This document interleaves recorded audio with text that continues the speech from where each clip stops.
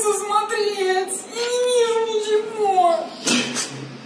Мама с папой виноваты, что я такой карлик, урод. Я, я твоей матери это видео скину. А как мне открыть окно, чтобы проветрить дом? Я в прыжке не могу поворачивать.